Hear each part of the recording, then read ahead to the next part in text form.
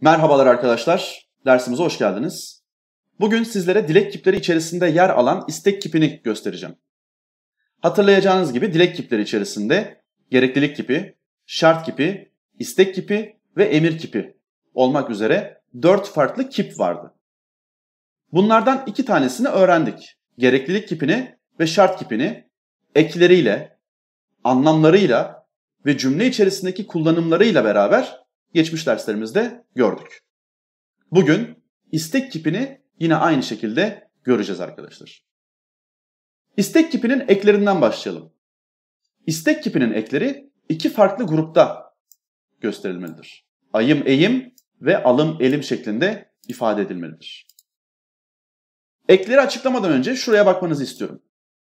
İstek kipi gereklilik kipinde ya da şart kipinde olduğu gibi bütün şahıslarda çekimlenmez arkadaşlar.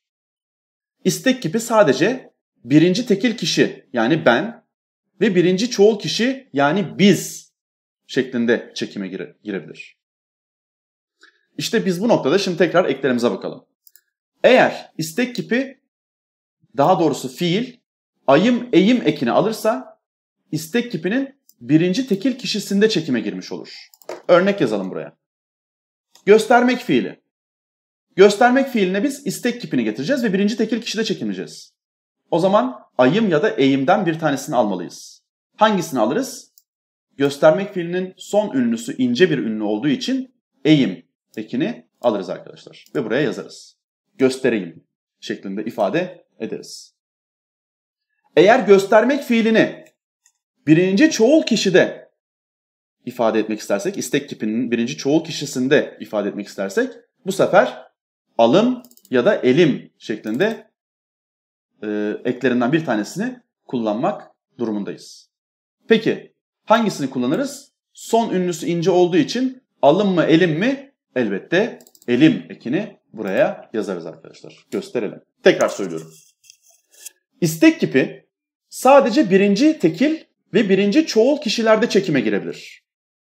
İkinci ve üçüncü kişilerde istek kipi çekime girmez arkadaşlar.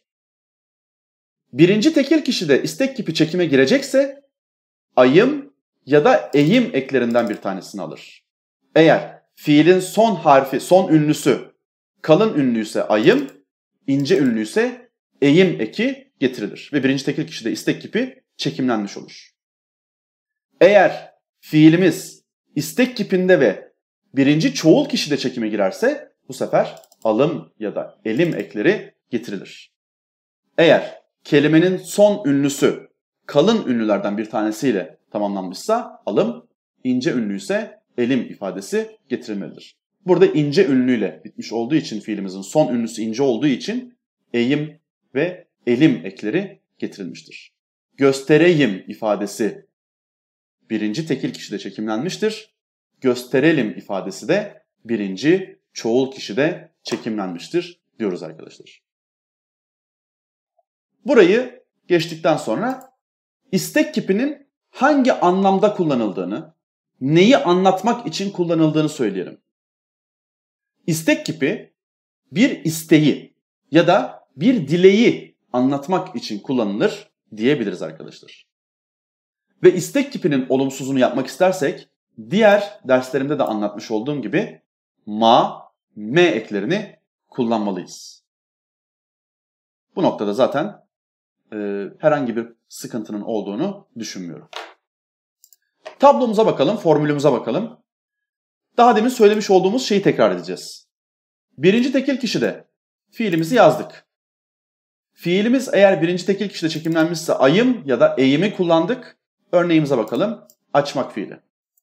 Açmak fiilinde zaten bir tane ünlü var. O da a kalın bir ünlü. Kalın bir ünlü olduğu için ayım ekini getirdik. İçmek fiilinde i ünlüsü bulunmakta. i ünlüsü ince bir ünlü olduğu için eğim ifadesini, eğim ekini getirdik. Yani açmak fiili birinci tekil kişide istek kipiyle çekimlendiğinde açayım şeklinde ifade edilirken içmek fiili istek kipinde birinci tekil kişide çekime girdiğinde içeyim şeklinde ifade edilmektedir. Birinci çoğul kişide fiilimizi yazdık. Fiilden sonra alım ya da elim eklerinden bir tanesini getirdik. Açmak fiili tekrar açmak ve içmek fiillerini görüyoruz. Açmak fiili kalın bir ünlüye sahip olduğu için alım ifadesi gelirken, alım eki gelirken, içmek fiilinde ince bir ünlü olduğu için elim eki getirilmektedir arkadaşlar.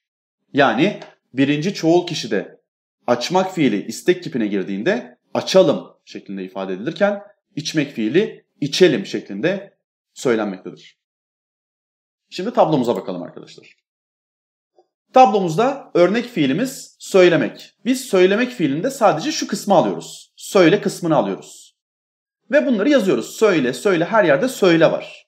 Söyleden sonra getirmiş olduğumuz ekler olumlu, olumsuz, olumlu soru ve olumsuz soru anlamları katacak şimdi.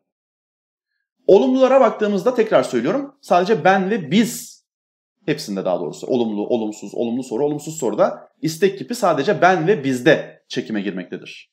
Sen, o, siz, onlar şahıslarında istek kipi yoktur arkadaşlar. Birinci tekil kişide istek kipi olumlu çekime girdiğinde şu şekilde bir ifade çıkıyor karşımıza. Söyle fiilimiz. Fiilimizin son harfi ünlü olduğu için ve ekimiz de ünlü harfle başladığı için biz ortaya bir yardımcı ünsüz getiriyoruz arkadaşlar. İki ünlü yan yana gelmemelidir. İki ünlünün yan yana gelmemesi için de bir yardımcı ünsüzden e, yardım almamız gerekmektedir. O yardımcı ünsüzümüz de Y ünsüzüdür. Bunları da zaten derslerde sizlere anlatmıştım. Söyle, söyleyeyim şeklinde birinci tekil kişi olumlu bir biçimde çekime girmiştir.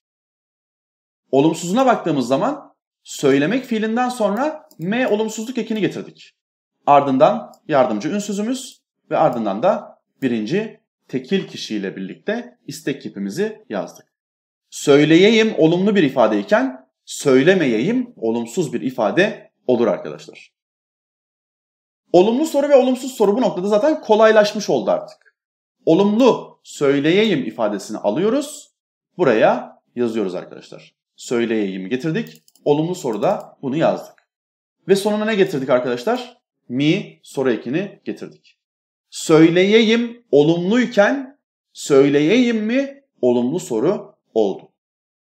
Olumsuzlukta biz ne dedik? Birinci tekil kişide söylemeyeyim şeklinde ifade edilir.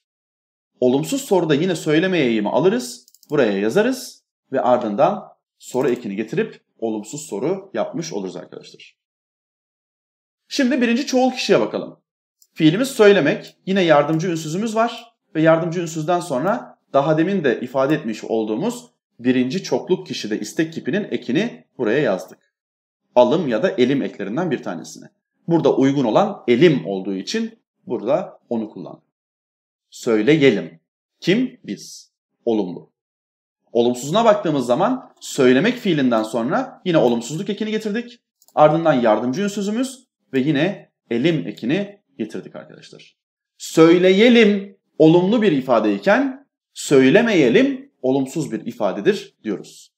Yine olumlu soru ve olumsuz soru için de daha demin birinci tekil kişide, birinci tekil kişide söylemiş olduklarımızı yine burada da söyleyebiliriz.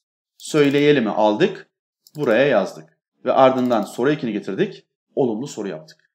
Olumlusu söyleyelim, olumlu sorusu söyleyelim mi? Olumsuz soruya baktığımız zaman söylemeyelim aldık, buraya yazdık ve ardından soru ekini getirdik. Söylemeyelim olumsuzken söylemeyelim mi olumsuz soru oldu arkadaşlar. Şimdi örneklerimize bakalım. Bu akşam konsere gidelim mi cümlesinde gitmek fiili üzerine elim eki gelmiş. Elim ekinin hangi kişide kullanıldığını görmüştük? Birinci çoğul kişide kullanıldığını görmüştük. Ve ardından ne gelmiş arkadaşlar? Soru eki gelmiş. Şimdi cümleye baktığında bu akşam konsere gidelim mi? Bir soru cümlesidir. Kaçıncı kişiyle çekimlenmiştir? Birinci çoğul kişiyle çekimlenmiştir. Birinci çoğul kişi biz. Biz bu akşam konsere gidelim mi? Olumlu mu? Evet, olumlu soru cümlesidir. İkinci örneğe bakalım. Biraz daha çalışayım. Fiilimiz nedir? Çalışmak. Çalışmak fiilinin son ünlüsü nedir arkadaşlar? I. kalın bir ünlü olduğu için birinci tekil kişi eklerinde istek kipinin birinci tekil kişi eklerinden ayımı getirdik. Çalış, çalışayım. Kim? Ben. Ben biraz daha çalışayım. Cümlemiz olumlu mu? Evet olumlu. Herhangi bir şekilde olumsuzluk eki yok. Yarın erken kalkalım cümlesinde yine kalkmak fiiline alım eki gelmiş. Alım eki istek kipinin birinci çoğul ekidir arkadaşlar. Olumlu bir şekilde kullanıldığını tekrar söyleyebiliriz burası içinde. Haydi acele et. Geç kalmayalım. Fiilimiz kalmak. Kalmak fiilinden sonra ne gelmiş arkadaşlar? Ma, olumsuzluk eki. Ve ardından yardımcı ünsüz ve onun ardından da alım gelmiş. Alım birinci çoğul kişiyi ifade eden istek kipidir. Geç kalmayalım. Kim? Biz geç kalmayalım. Olumlu mu? Hayır. Olumlu değil. Olumsuzluk eki olduğu için burası olumsuz bir ifadedir diyoruz. Kitabını hemen getirmeyeyim mi? Fiilimiz nedir arkadaşlar? Getirmek. Getirmek fiilinden sonra M olumsuzluk eki, ardından yardımcı ünsüz ve onun ardından da eğim yani istek kipinin birinci tekil kişi eki gelmiştir. Ve ondan sonrasında da soru ekinin geldiğini görüyoruz. Şimdi soruyorum. Kitabını hemen getirmeyeyim mi? Kaçıncı kişi? Birinci tekil kişi. Olumlu mu olumsuz mu? Olumsuz. Ne için? Çünkü burada olumsuzluk eki kullanılmıştır. Peki soru cümlesi mi? Evet, soru cümlesi. Olumsuz, soru ve birinci tekil kişinin kullanıldığını görüyoruz arkadaşlar. Şimdi burada alıştırmalarımız var. Buradaki boşluklara sizler istek kipi eklerini getiriyorsunuz. Bunlar soru şekillerinde olabilir. Zaten soru eklerinin olmuş olduğu yere soru e, soru işaretinin olmuş olduğu yerler soru cümlesi olduğu için soru eklerinin kullanılması gereken yerlerdir buralar. Ve olumsuzluk eğer cümlenin anlamında olumsuzluk varsa olumsuzluk ekini de getireceksiniz. Ve kişilere göre de bunları istek kipini çekimleyeceksiniz diyorum arkadaşlar. Ve bu noktada videoyu durduruyorsunuz. Çünkü ben şimdi bir sonraki slaytta bunların doğru cevaplarını göstereceğim. Şöyle. Evet. Burada arkadaşlar daha deminki boşlukların doğru bir şekilde nasıl doldurulacağı gösterilmektedir. Ben bunları teker teker okuyorum. İlk cümlemiz ben seni dışarıda bekleyeyim. İkinci cümlemiz biz sizinle gelelim. Sana çikolata alayım mı? Fakir insanlara yardım etmeliyiz. Bu konuyu tekrar anlatayım mı? Durakta sarı çizgiyi geçmeyelim. Ondan hoşlanmıyorum. Bence onu yanımıza çağırmayalım. Bu yaz tatilde Bodrum'a gidelim. Hafta sonu beraber bir şeyler yapalım mı? Şeklinde boşluklar doldurulması gerekmekteydi arkadaşlar. İstek kipi e, bu noktada bitmiştir arkadaşlar. İstek kipiyle ilgili e, konu tekrarlarınızı yapmayı unutmayın. E, yalnız şimdi hemen bir sonraki videoya geçiyorsunuz ve bir sonraki videoda emir kipinin anlatımıyla dilek kiplerini tamamlıyoruz arkadaşlar. Şimdilik hoşçakalın.